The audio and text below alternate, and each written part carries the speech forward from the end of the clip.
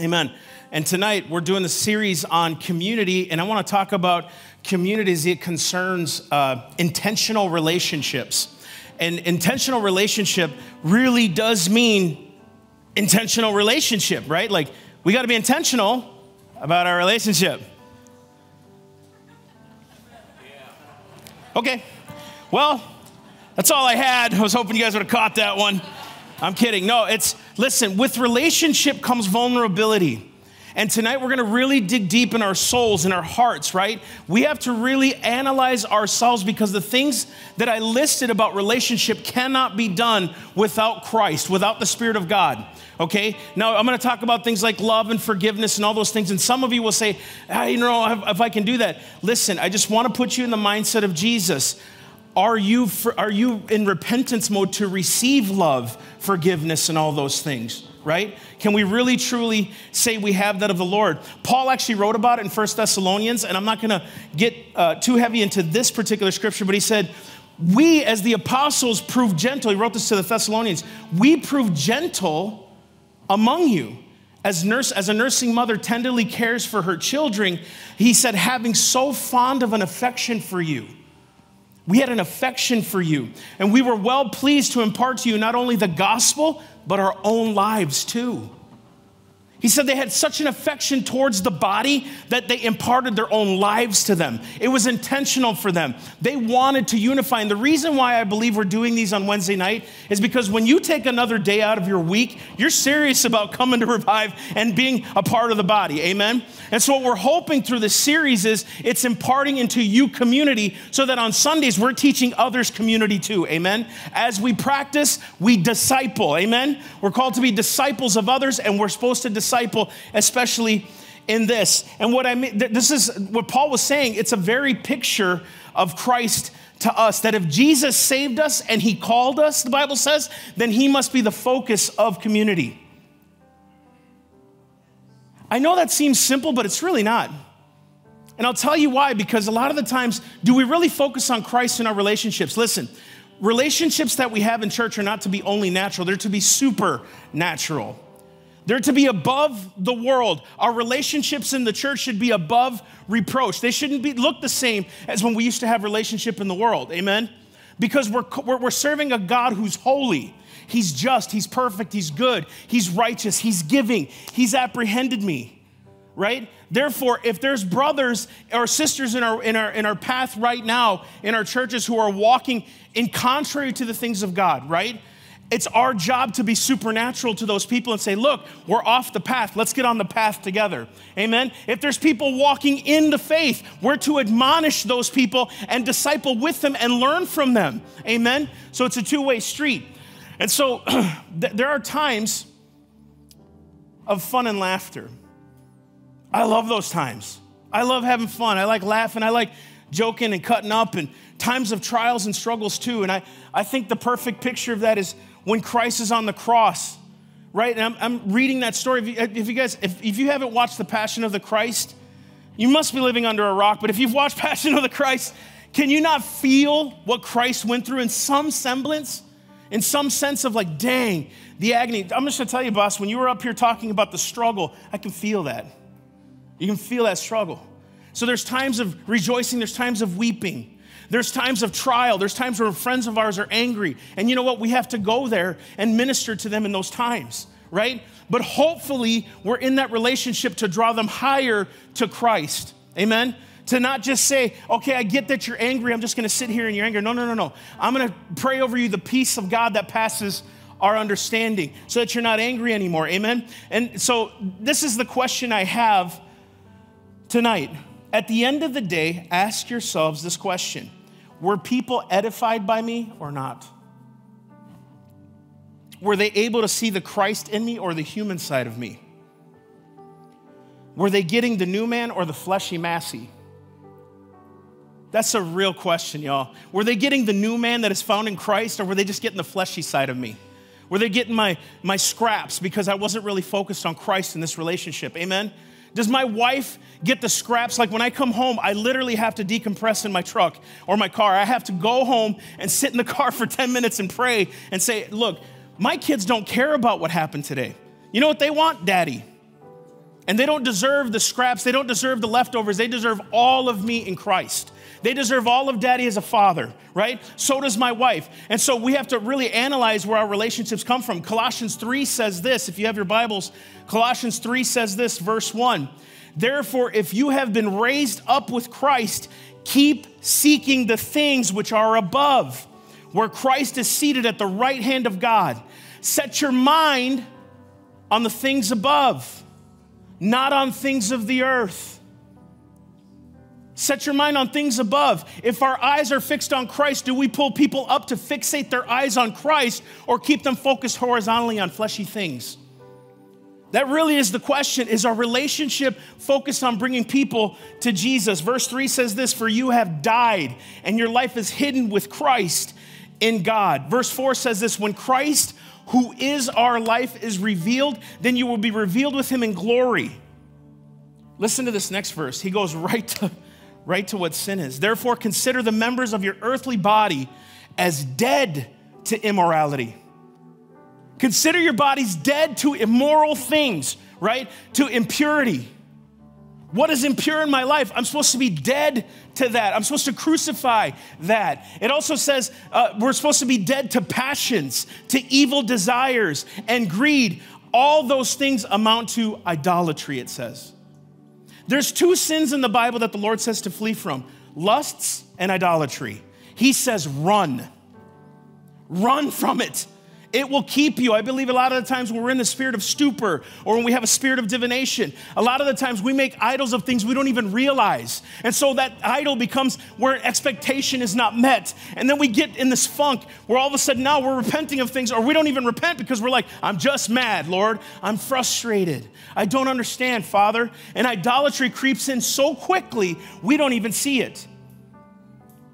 And guys, I'll tell you, maybe this is a pet Maybe you can relate, Rick. I'm sure all of us can. When you've been in ministry so long, it becomes an idol if you don't watch out and be careful. And it overtakes your family. I, I, I can tell you now, my 14 year old is an amazing kid. I love Isaiah. He's awesome. But the first five years of his life, I neglected him because I was out saving the world and the world needed to get saved. And I had to go out there and my kid was suffering because daddy wasn't home. You know what I love though? I quit saying I regret it because God's redeemed the time for me. And that kid is amazing, and he's a man of God, and that dude will change the world. He will.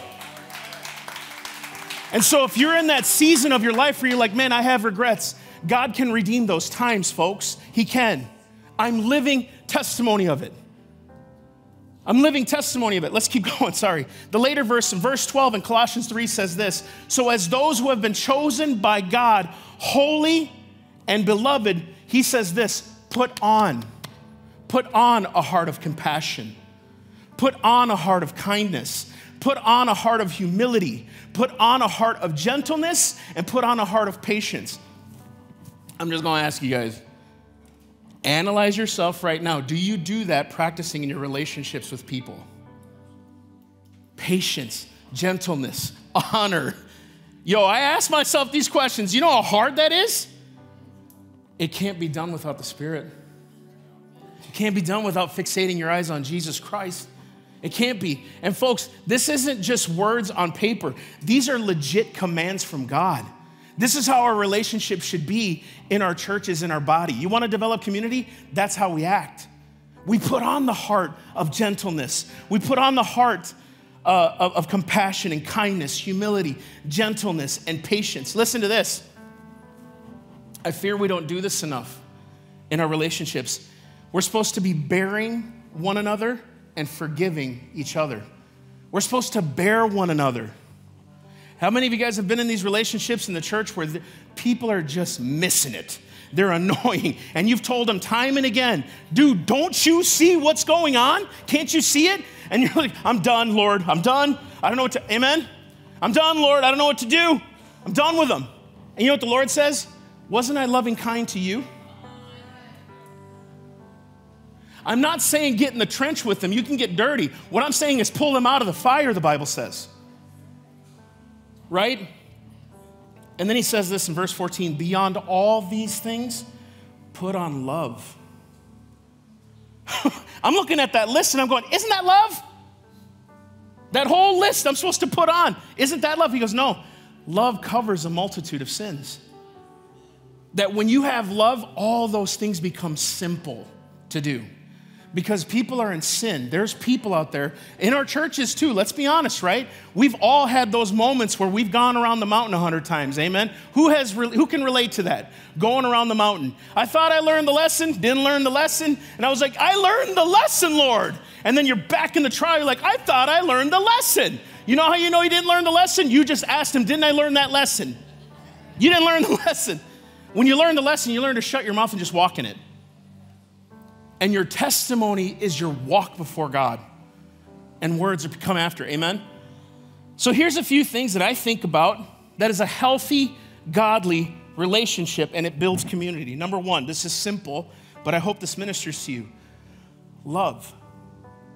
If y'all could read 1 Corinthians 13 without feeling some kind of like, Lord, I'm convicted by this, it should rock your world. Listen, folks, I love the prophetic as much as the next guy, but this is what convicts me. He says, You could have the prophetic gift and know all mysteries and have all knowledge. If you don't have love, you have nothing. I could know the Word of God and have all the mysteries, but no love is nothing. And it's not saying don't have the knowledge and don't get the mysteries. What it's saying is when you have love behind it, it transforms people. The love of God is shed abroad in my heart, it says in Romans 5, by the Holy Spirit, which was given to me to transform the souls of men. And He gives me the unction and the words to speak. The more revelation I get, the more He can use when I'm out on the streets and I don't know what to say the more he can use those scriptures. Why was I reading that? Why did I memorize that? Why did I spend those two years in the basement, Lord, putting three by five cards all over the basement of scriptures? Why was I praying over them? Because when I started street preaching, he would bring them back to remembrance for the people. That's how, it, that's how he did it. I thought I was crazy. I'm like, why am I doing this, Lord? And yet it was for the people. He says, love. He, and he says this in John 13 34. A new commandment I give to you. Listen, that you love one another as I have loved you. You know that whole sermon series Pastor Todd did on marriage? Husbands, love your wives as Christ loved the church. Can anybody just stop, especially men? Just hear me out. How do we love as Jesus loves? You can when your eyes are fixed on Him. You really can. He says, and I, and I started to think about how do, how do I love people as Christ loved me and loves me? Do I really love people that way? 1 Peter 4 says this, and above all things, have a fervent love for one another, for love will cover a multitude of sins. When love covers a multitude of sins for you, you want to run to Christ, right? Anybody who's been in sin in this room and have walked in like some kind of conviction, maybe even a condemnation, don't you want to run into a loving arm? Do we practice that with our brothers in community when they really need it? Or do we maybe sometimes shuck them when they're trying to call us? You're like, oh no, I don't want to talk to them right now. You know why you're laughing? Because it's true. I was guilty of it. Trust me. I know it's hard, it's difficult to love this way. But when you truly have the love of God, when you have love in you, you overlook the stuff they're doing. And you say, literally, it goes in your heart. He says to you, I know where they're going. I'm not looking at where they're at. See them where I'm taking them. Don't look at them where they're at right now, because where they're at is just a stumbling block. Help them get rid of the stumbling block. Amen? Help them get rid of it. Have empathy toward one another. Listen Empathy, empathy towards someone does not mean acceptance of sin. Just because you have compassion someone doesn't mean you accept them in their sin. Does this make sense? Just because you're empathetic to someone who's in deep sin does not mean you accept where they're at. As a matter of fact, quite the opposite. It means compassion toward a fellow believer to help them approach the throne of God. Hebrews 4 says this For we don't have a high priest, Jesus. We don't have a high priest who cannot sympathize with our weaknesses but one who has been tempted in all things just as we are. Not as we were. Even now, I'm being tempted with things, right? He said, He was tempted in all points like we are, yet without sin. Therefore, let us, community, let us approach the throne of grace with confidence so that we may receive mercy and find grace for our help in the time of our need. Maybe, just maybe, we're supposed to be loving, kind, and empathetic to them to help them approach the throne of grace. Because I promise you this if community was truly operating, less people would come in here heavy and burdened. They would come in here ready to rejoice and receive. If we could just reach out to those people that God is telling us to, hey, reach out to that person. Hey, send pastor a text. I'm not saying to send pastor a text, just an example. Send pastor a text, man. I love you, buddy. You were just on my heart. There are people here, I don't even have your numbers, and I look at you and I'm sitting over here praying for you because God put you on our hearts to pray for you, right? I meet with uh, Austin right here in the morning. I mean, we meet every week. And this dude, he shocks me every week because he's solid, he's strong, he's crazy too, sometimes. But you know what I love about him? He always says, Dude, I'm really focusing on Christ right now. I need Jesus. How many of y'all want a 17 year old like that? I wish I had that at 17. I wasn't even thinking that way. And dude, he is answering your prayers. He is. The hardships bring reality, they bring the Spirit. Let Him do it, man. Let Him have His perfect work. Can we truly help one another if we don't have compassion to help our body in their trouble and their needs?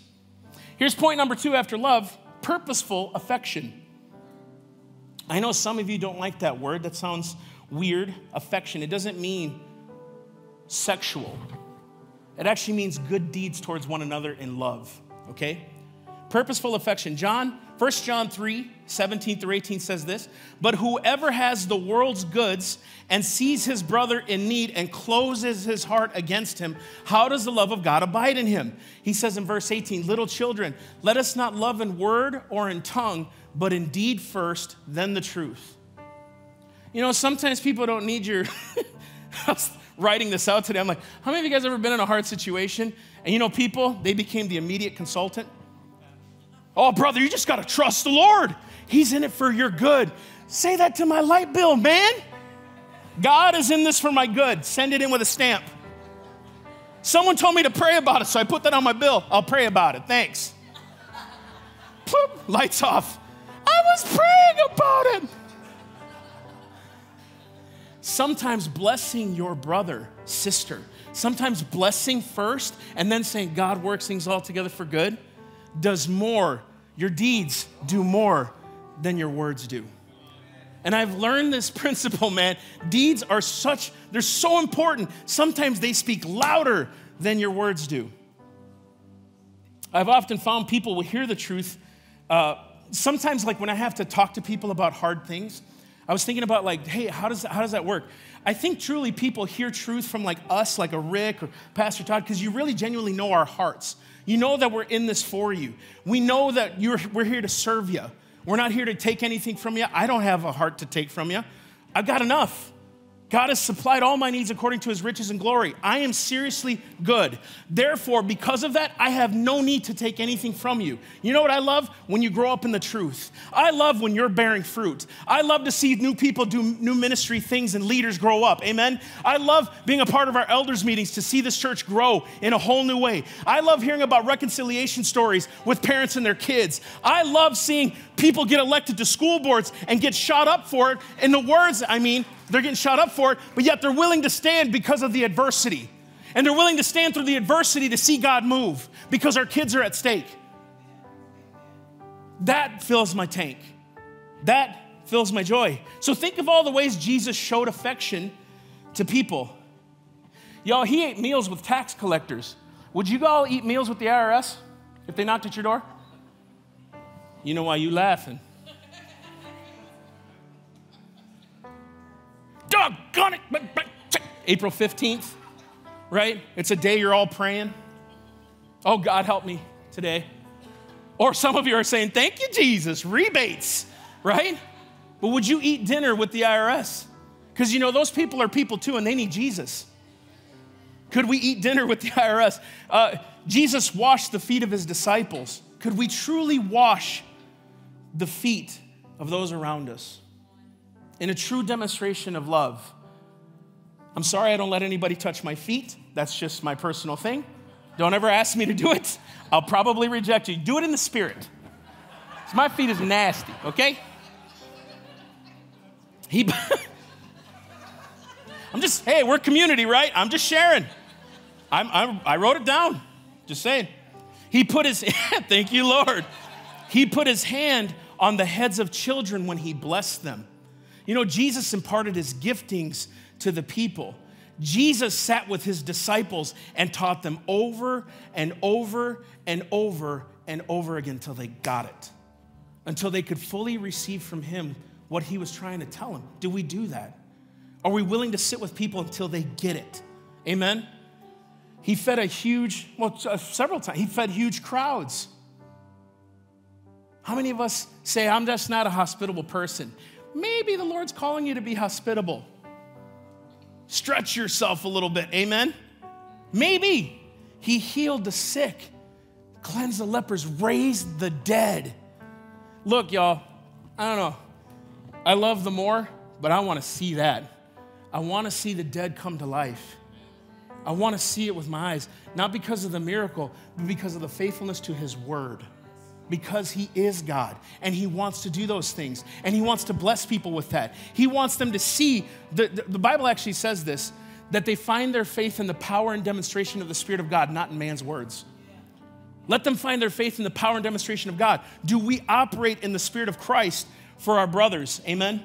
Matthew 20, 25 says this You know that rulers of the Gentiles lord, lord it over them, and those who are great exercise their authority over them.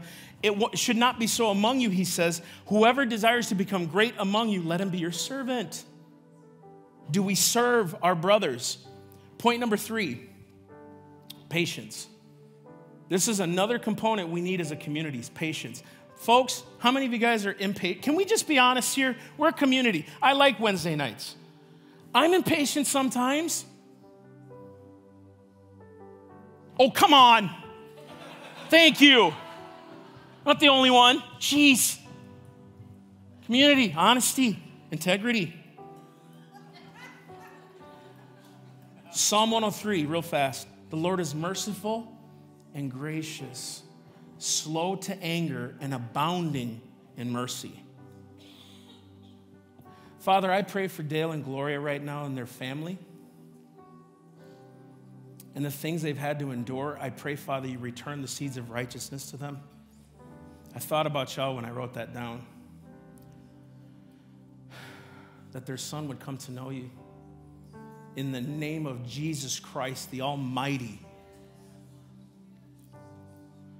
So gracious and merciful they are. And they're not perfect, Lord. We know that. But Lord, you're perfect in them. And Father, you perfect them in that walk. In Jesus' name. How many of us have been around the mountain before? I've already talked about this with a particular sin or vice or needed to learn a lesson. How many of us love to hear this? I can't believe you're still struggling with this. Why can't you just repent and turn? Don't you just want to slap people? Do you think I don't want to get rid of this vice? Right? I've met people who smoke, like smoke cigarettes, and they want to get rid of that vice. And I'm just like, dude, just put it down. This is when I was 21, 22, okay? Just saved as a Christian. Just put it down. And they're like, shut up, kid. Oh, how dare you? You don't trust enough. I used to say this kind of stupid stuff because I didn't understand community.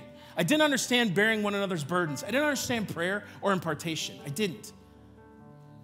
I didn't get it. And you know what? There are people who are struggling with this. And again, they need you to walk with them. Amen? They need you to walk with them through their marriage issues, through their kids' issues. They need you to walk with them. Because listen, maybe you have a blessed marriage. Let's go disciple others who need that too. Amen? Thank you, thank you, Christ, who gives long suffering and who is long suffering. Colossians 1 says this that you might walk worthy of the Lord unto all pleasing, being fruitful in every good work and increasing in the knowledge of God, strengthened with all might according to his glorious power unto all patience and all long suffering he just said we can have all patience and all long suffering as we're being strengthened in the faith. Folks, if we're truly long suffering like he is to listen, do we truly love like Jesus? Is the question. if he's long suffering with me, can't we be that to our brother, sister? Amen? Can we be that to our kids?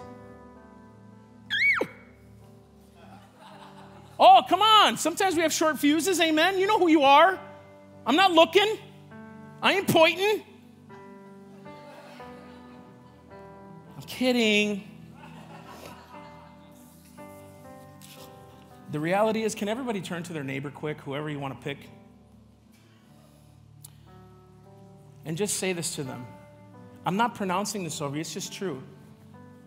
Just say to your neighbor, you're going to make mistakes. Right? You're going to make mistakes. That's not an announcement. That's not a, you know what, Jared? We're going to screw up, right? We're to make mistakes unless you're Jared. He's perfect. We're gonna make mistakes. Listen, folks, listen. Do you think we're gonna make mistakes? Are we gonna do some dumb things sometimes against each other? Can we just accept that? Can we just as a community accept the fact that we're not perfect, but we're serving the perfect? That we're serving the one who is, and that I'm asking God to perfect me every single day? Can we just accept the fact that that happens so we don't have to carry on bitterness because of uncommunicated expectations? Can we just accept the fact that we're human and that I need Christ every single minute of my life?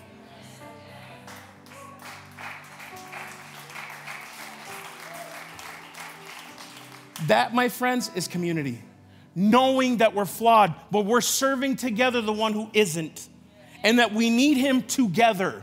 And we need him for our families. We need him for the church because the church needs to be the true representative of Jesus on earth. That's what we need, amen? If we're truly gonna take territory, we need people to come in here knowing that we're broken, but we're serving the one who puts us together, amen? Lastly, forgiveness. I ain't gonna preach to y'all about forgiveness. How many of y'all heard sermons about forgiveness before? How many of y'all didn't even need sermons on forgiveness? It's kind of a duh. We forgive, right? I could throw you a thousand sermon titles. Todd, Pastor Todd's done several sermons on forgiveness and different ways of forgiveness, and I could throw you a hundred scriptures right now. I'm not going to do that. I'm not going to do that. And I'm not going to sit here and tell you that forgiveness is easy. And for those of you that think you deserve forgiveness and you're still walking in your sins against one another, repent. Repent now. Listen, I come to God in repentance and He forgives me. I'm not saying that's the only caveat, but we should never be at odds with one another. If we're not repentant, there's gonna be no forgiveness there. To receive, I mean. To receive. Someone can forgive you, but if you're not ready to receive it, you're not gonna change. Forgiveness is just as much for the person doing the forgiving as much as you receiving it to understand how to love. It's a release, amen? It's in the little things as well as the big things. If I can be honest, I wrote this down. I've held grudges before with people because I felt like I couldn't jive with them. You know what I'm saying? Like, I just don't think I get along with them. And so I used my discernment as a cover up to hold a grudge.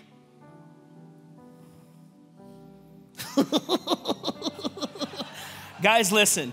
Do not use the word discernment as holding a grudge against one another. Don't tell the Lord, well, I just, that's why I won't hang out with them because my spirit's discerning. If you've never talked to them, if you've never prayed for them, if you've never walked with them, do not use discernment as an excuse to not love your brother. That's not discernment, folks. You know what discernment really teaches you to do? To pray for them. I heard a guy tell me one time, that person is wicked and that's how they are. And I'm like, cool. Did you take them to prayer and fasting? No, I'm here to tell you that they're wicked. And did you take them to prayer and fasting? Here, did you tell them? What you telling me for? What am I going to do? Go up to that person and say, uh, I was told you're wicked and evil? God bless. Good morning. Thanks for coming. What am I supposed to say?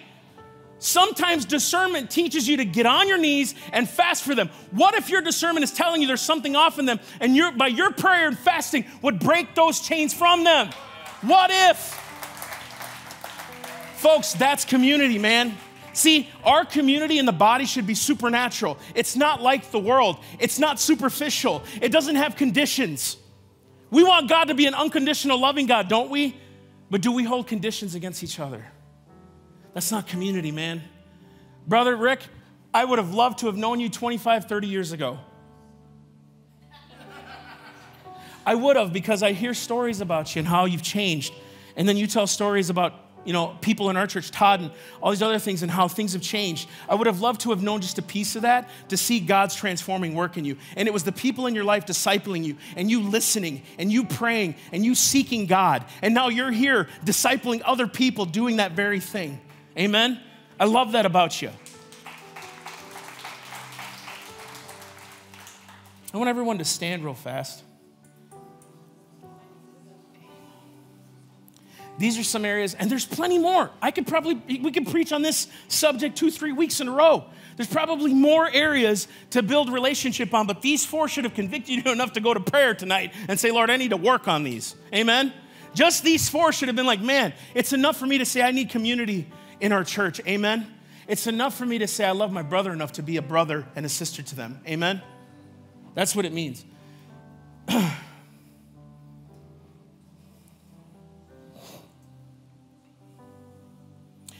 um, God, I'm, I'm, I'm grateful that we're doing this mini series on community, Father. I'm grateful for the culture that you're developing in this church. This is the year of the Holy Spirit. And I pray, Father, that each one of us understands that the year of the Holy Spirit brings out things in us that are not pretty sometimes. But Lord, that together we're going to you, Father, approaching your throne of grace to say, Lord, take it from me and put your heart in me. Put the heart of patience, the heart of love, the heart of community. Father, people in this room, I pray if they're hardened, right now. I pray you soften their heart. Father, you would remove their stony heart and put in a heart of flesh, Lord. And you would show them and put on their minds and their hearts to text that person, to reach out to that person, to pray for that person. God, I thank you, Lord, in true community, Father, that we would learn to repent of our sins, Father, that someone wouldn't have to point it out to us, that Holy Spirit, you would quicken us to that. So we wouldn't need brothers to point it out, Father, that we can walk in true community. Lord, I also pray this, Father, that each one of us learns to watch each other's back. To watch each other, to walk side by side, not behind them, Lord. Teach us, Father, that it's not about walking behind, it's walking with them. And that we wouldn't have that marriage, that friendship, that relationship destroyed by a lie, by deceit, by uncommunicated things, Lord that we can come now, Father. Even tonight, I pray that, Father, you would release something in people that they could be honest tonight with those who maybe they've harbored a bitterness to, maybe an uncommunicated thing. Father, I thank you tonight. Tonight is the beginning of something for some, for all of us, to walk in true community, Lord. And Lord, I didn't even call up the prayer ministers, but I'll pray this, Father, that you would heal tonight in the name of Jesus. Heal. Heal tonight the anointing of healing over this place in the name of Jesus. You would strengthen our bones in Jesus' name. You would strengthen our minds, Father. I thank you, Lord, for restoration, Father, where it needs to be restored. Financial breakthrough in the name of Jesus Christ by the authority you've given us, Lord, to walk in. What a blessing to be in a house that just wants to love you, Lord. We don't get it all the time, but thank you, Lord, for showing us that we don't and that you do and you're putting it in us. In the name of Jesus, Lord, amen. Amen. God bless you guys. See you on Sunday. Thank you for joining us today at Revive Us Now at our YouTube channel. Remember to click that subscribe button to Revive Church and share this video with a friend. And if you'd like to support this ministry, go to reviveusnow.com forward slash give.